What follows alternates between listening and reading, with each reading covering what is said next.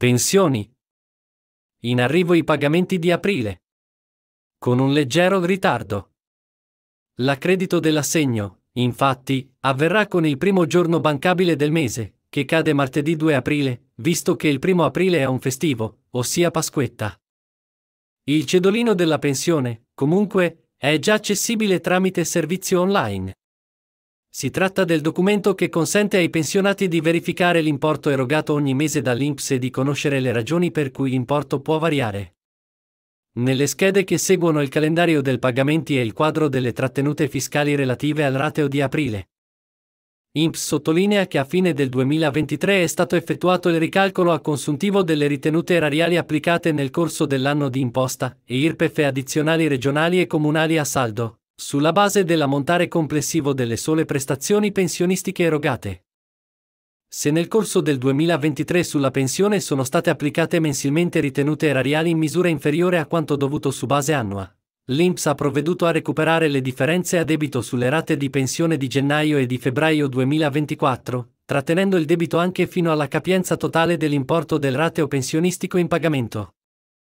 Qualora i ratei di pensione di gennaio e di febbraio 2024 siano risultati insufficienti per il recupero totale, di cui alla scheda precedente, l'INPS prosegue con le trattenute sui ratei mensili successivi fino ad estinzione del debito. Nel solo caso di pensionati con importo annuo complessivo dei trattamenti pensionistici fino a 18.000 euro, per il quale il ricalcolo delle ritenute erariali ha determinato un conguaglio a debito di importo superiore a 100 euro. La rateazione viene comunque estesa fino alla mensilità di novembre. Per quanto riguarda le prestazioni fiscalmente imponibili, anche sul rateo di aprile, oltre all'IRPEF mensile, vengono trattenute le addizionali regionali e comunali relative al 2023. Le addizionali regionali e comunali vengono recuperate in 11 rate, da gennaio a novembre dell'anno successivo a quello cui si riferiscono. Le somme conguagliate verranno certificate nella certificazione unica 2024.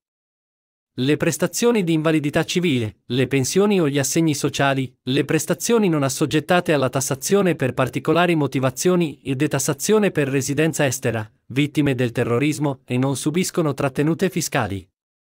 Se l'accredito partirà il 2 aprile, chi ritira la pensione in contanti alla posta dovrà rispettare il calendario in ordine alfabetico.